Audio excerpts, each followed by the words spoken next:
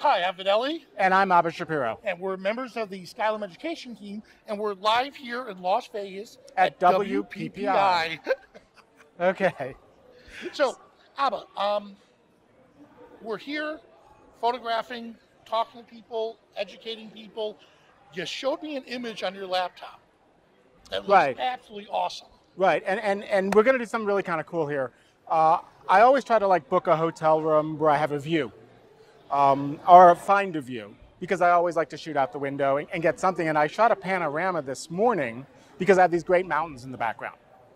Now, one of the great things is Luminar works really well as a plugin to Lightroom, and Lightroom has a really cool feature where you can stitch together a panorama, and now you can even stitch together a high dynamic range panorama, which means I took bracketed shots and underexposed, overexposed, and properly exposed, and I'm going to merge together those as well as the, the, the panorama, and then we're going to send it to Luminar to really do the magic, and then we can shift it right back to Lightroom. It's pretty cool. That's going to be awesome. All right, let's check it out. So if we take a look, this is of course Luminar. I'm going to switch over to Lightroom, and I've actually already done this just to make sure that you know it happens quickly. It's like when you do a cooking show, the before and after. it takes Lightroom a little bit of a while to do this, but if you take a look at the screen, you can see I have shot vertically, so I can get as much resolution as possible. And that's what I was going to ask you, because I, really love how it came out. So you shot vertical, your three, your your um, bracketing, Absolutely. and then you moved over just a bit. How did you do your move? Did you just pan over? I, I yeah, I panned over. It's kind of a gut. I try to you try to get about thirty percent of the preceding image into the new one, so it has something to match up. I mean, ideally, you can do this on a tripod and shift and shift and shift. I find uh, I'm lazy. I do it handheld, but that way I get the shot, and I just kind of went click, and it goes click, click, click. Move over a little bit. Make sure I frame a piece of the building or a piece of the mountain uh, from the previous shot into the s- so that's uh, subsequent shot. it to find it. Exactly. Perfect. And if you take a look, you can see there's an underexposed one, uh, a properly exposed one, and an overexposed one. And I have all these shots, and I'm simply going to select the first shot and scroll down to the last one and shift click, and this selects all of the shots that I took at this point in time. And sometimes when I do panoramas, I'll switch between vertical and horizontal just so that I have a quick visual reference. Smart. So I don't know, oh yeah, is that from the before or the after?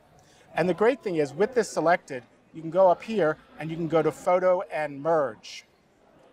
And so of course, I don't have my glasses on so we don't get a glare. So I'm even trying to find merge. So watch this trick. You reach behind yourself and suddenly you can get these things and you can find exactly what you're looking for. Okay, so we're gonna go here and we go uh, photo merge and you see Lightroom can do high dynamic range, it can do panorama, and the newest release of Classic can do high dynamic panorama merging. What's really cool about this is when I merge it together, uh, these are all camera raw. And what Lightroom will do is it'll create a DNG. Interesting. And you know about DNGs. Yes. Digital, ne- digital negatives. So I can send this basically a raw file to Luminar, but this is going to be like huge megapixels. Interesting. Gotcha. So I said, would go HDR panorama. It right. will In the past, we would send it as a GIF, as a JPEG, or as a or a TIFF file. A TIFF file. And that's not as much data. You have all of this resolution and all of the dynamic range that the sensor captured when it's a DNG. So this is a, a wonderful workflow. And so it's analyzing all of these pictures. You can guide it if it doesn't guess right whether you shot this as a spherical or a cylindrical or perspective. In this case, cylindrical or perspective work. And you'll see when you do this, you can ask it to stack all the images together so you can clean up your Lightroom library. And there'll be some other options you can work with, such as uh, cropping it automatically. We don't worry about that because we're going to crop it in Luminar. You can also have it do some auto processing. Uh, DNGs, when you do high dynamic range, they tend to be a little bit darker. It's just the nature of a raw file. And you can also use something called boundary warp, which allows you to kind of get the most of the image that, you know, because it doesn't always line up and you have the perspective. So it's going to calculate this and it is see. a complicated. It's a complication cal- calculation. Right. That's why it's taking forever. Absolutely. I mean, I have, for each frame, I have three images at 24 megapixels. I probably shot 10 or 12 images. So you think about that, it's trying to composite, I'm doing the math here, let's say 75 megapixels, you know, 750 to 1,000 megapixels Wow. worth of imagery. And actually, it's a little bit bigger. The, the final image is going to be this great wide panorama. So it's doing the calculations now. Now, by the way, I was told there was going to be no math today while we were here at WPPI. Yeah, we don't have to do the math. You just did it in your head. Yeah, but nobody's unless, unless somebody checks me, I'm right. so I'm good. And as you can see here, I have this great panorama I shot out the building, and I have some choices for if I wanted to do a little bit of auto settings for the dynamic range. And I could crop it, but when it gets sent over, it's going to send over the complete DNG image. So this may be nice for perspective, but the beautiful thing is Luminar will get the full raw uncropped image.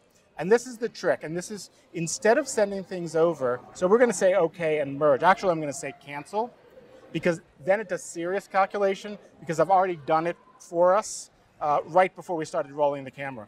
And I have it right here. So this is the merged image. Looks exactly like that. You can see it's a DNG. And what I can do is when I send it over, and this is a really cool trick, when you go file, you don't go export with a preset.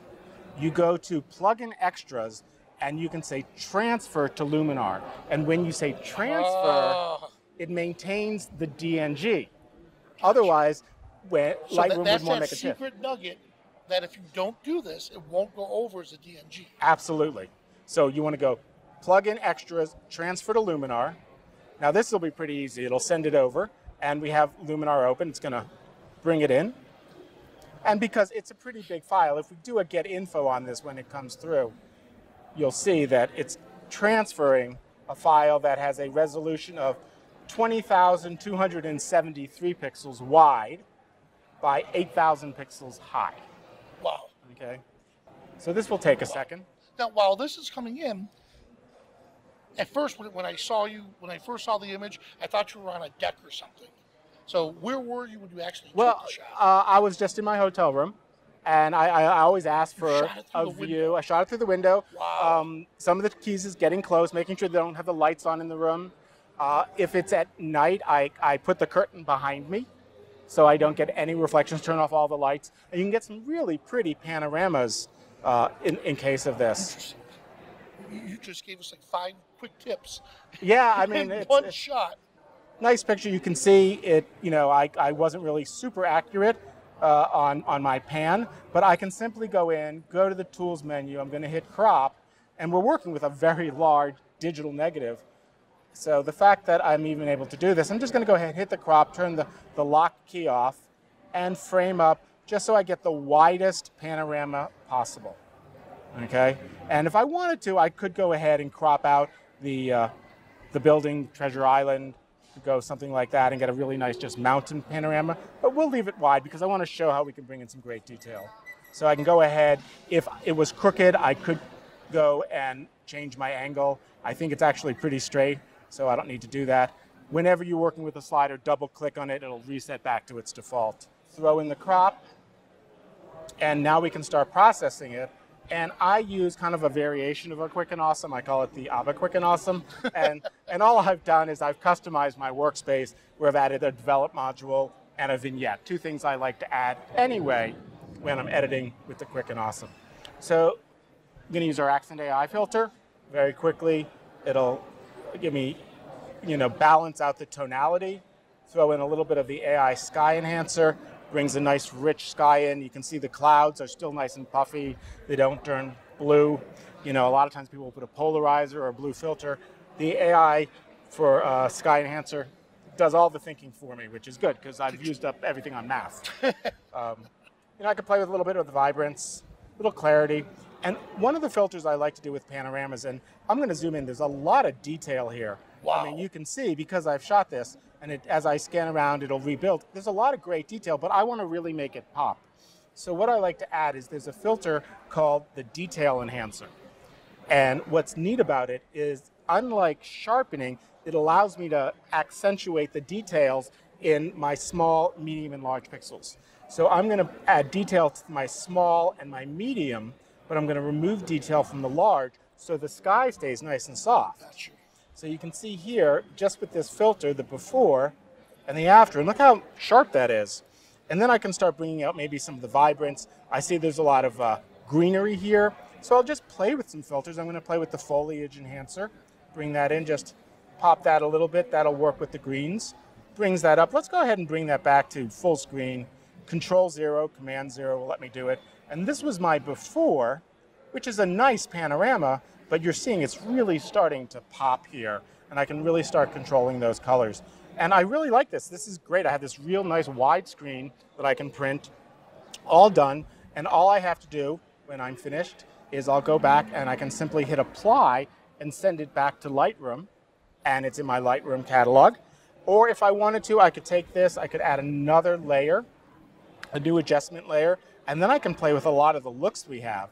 So I could go back and I say, yeah, let's take a look at some of our landscape looks. And I could play with those on top of my developed image. So maybe I want to go with autumn colors and click on it and wow, it really does change it. Pops the green a little bit more. We can try a little bit warm sunset. I really love what that just did to the mountains. As a matter of fact, you see how the mountains are now much, uh, much more brown, which they should be. Turn it off. turn on. So I love that. We're going to add one more filter, and then we'll send it back. And this other filter I really like. I'm going to hit Add uh, New Filter. We already there. It's the Split Color Warmth, and you find the Split Color Warmth underneath the Professional. You can type that in. So I'm to hit Split, split Color Warmth, and I can use this slider to just warm up the warm areas, and I can then also control just the cool areas so I can really get the perfect balance that I want. And I'm really, really happy with this. And then all I need to do is hit Can apply. I see the before and after? Absolutely. So this is the before. Pretty, but if you saw this by itself, you'd say, oh, that's a nice shot. Well, I did see it. you- I thought that was a great shot. Right. And- Now I think it's an amazing shot. right. And this is something I would really be proud to print and hang on my wall as a really nice Yeah, I can panorama. definitely see this behind your couch, you know, um, in your TV room. Right, because the TV is so big Yeah. that I have to have a big panorama to balance it. And, that'd be really there- nice to put it on metal. Absolutely. And it's as simple as that. I hit apply and it will go back to um, Lightroom and I can go ahead and process another image. So it's, it's as simple as that. It's, it's one of my uh, favorite things to do. And the fact that Luminar works so well as a plugin to Lightroom, it works as a plugin also to Photoshop. So folks who are using this don't have to worry uh, if they already have a workflow, they can just bring Luminar right into the equation. That's incredible. Well, hey, I'm Vanelli, And I'm Abba Shapiro. and we're part of the Skylum Education team. Thank you so much for watching.